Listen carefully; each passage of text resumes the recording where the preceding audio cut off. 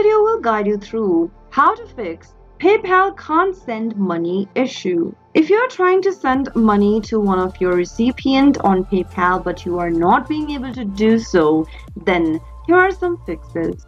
The first things first, make sure that your device that you're using is connected to a stable internet. The next thing to do is to check your account balances. Simply log into your paypal.com account like you normally do and then Make sure that your account has enough balance. You can also try linking to a different card as a payment method and make sure you have enough available balance in it. The next step is to ensure that you've verified your account. If your account is not verified yet, you won't be able to send or receive money.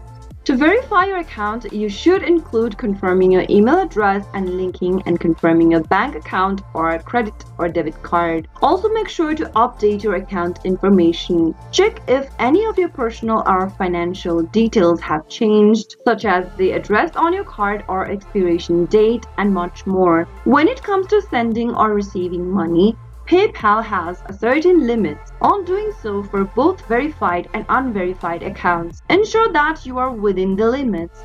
In order to make a transaction, you can also try clearing the cache and cookies from your web browser to solve your issue with PayPal.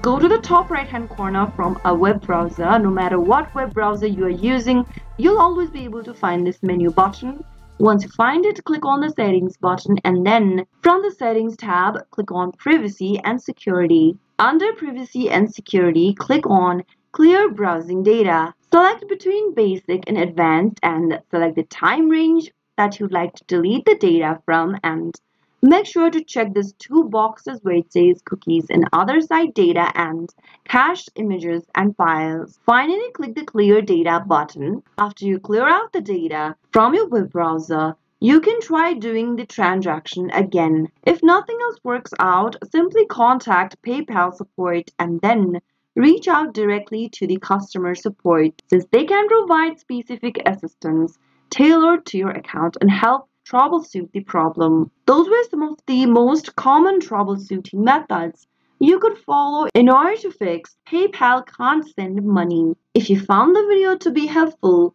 go ahead and give us a thumbs up. If you've not yet subscribed to the channel, make sure you do by tapping the subscribe button. Also press the notification bell so that you'll never miss another upcoming upload from us. I'll be back with more of these quick videos like this. Thanks for watching.